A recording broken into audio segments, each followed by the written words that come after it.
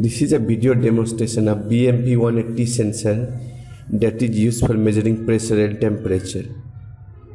So let's start. Uh, this is BMP 180 sensor and it comes with very small size.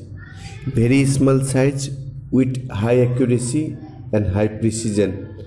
It has four pins that is SDA, SCL, VCC and ground.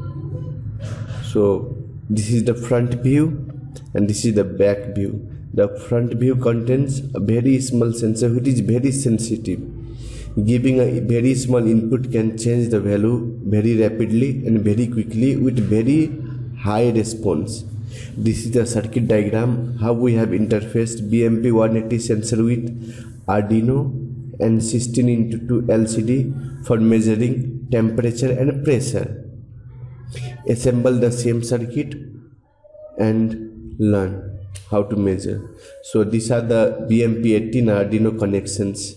Uh, vcc and ground is given and scl pin is connected to a4 and sda to a5 this is the variation in barometric pressure with the help of sea level or altitude. The barometric pressure is measured in hpa hpa means hectopascal so this is the curve.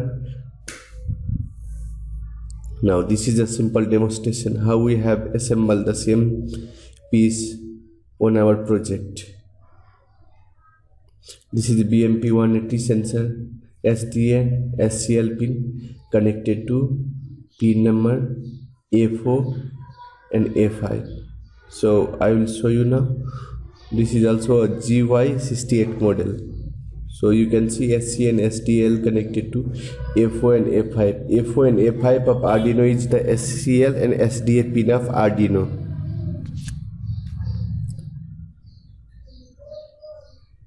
Also we have given uh, a 3.3 volt power supply. You can also use 5 volt power supply for powering BMP 180. Now we will supply the power to the circuit.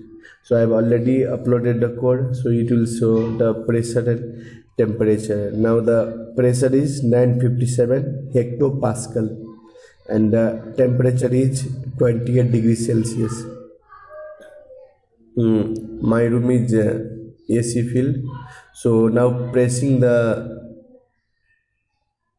BMP 180 sensor will change the temperature. So you can see it has changed the heat of my finger and the temperature has changed to 32 degrees Celsius from 20 degrees Celsius. Leaving it will again slowly down the temperature. Now try with the wet hand to change the pressure because wet hand contains moisture which will change the pressure. So you can see the pressure has changed and it's rising after leaving the hand, the pressure will eventually go down. So now I will leave. So you can see the pressure has gone down. This is a simple programming, but before that you need to add a library file. So go to include library, click on manage library. On the search area, type BMP 180 so you will find two or three different library. Install this first one. That is Adafruit library. So I have already installed. So there is no need of installing other library. So this library I have installed. So you can install from here. Now simply compile this code and upload to but before that let's see the basic the programming. Dot y dot h is for communication and liquid crystal header is for communicating with lcd so these are the programs that you will find inside the source code. So now simply this is the two line formula depending upon the data sheet of bmp 180 and the library. Thank you for watching